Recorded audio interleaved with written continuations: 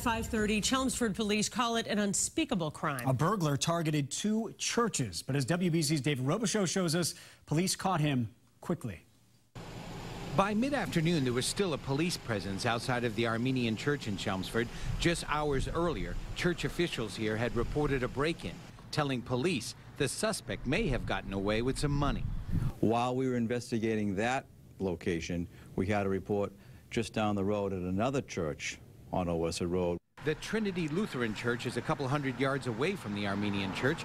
Here, police say a staff person walked in on the would-be thief just after 8 a.m. When she approached the kitchen area of the church, she heard a, uh, a commotion and actually saw this individual uh, flee out of the back of the building. The suspect was apprehended not too long after fleeing the second church location.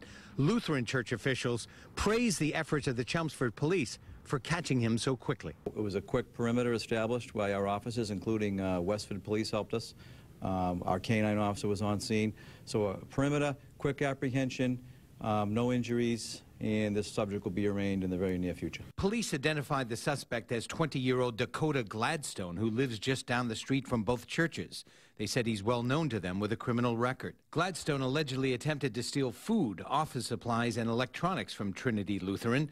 Church officials there posted a notice on the door for parishioners, saying a burglar had forced a door open, but nothing had been taken after the staff member called 911 and the man fled. This afternoon, just outside the Armenian church, a canine officer and his dog combed the sides of Old Westford Road looking for anything Gladstone may have thrown away when he was fleeing. Police say no religious artifacts were taken or disturbed at either church. In Chelmsford, David Robichaud, WBZ News. More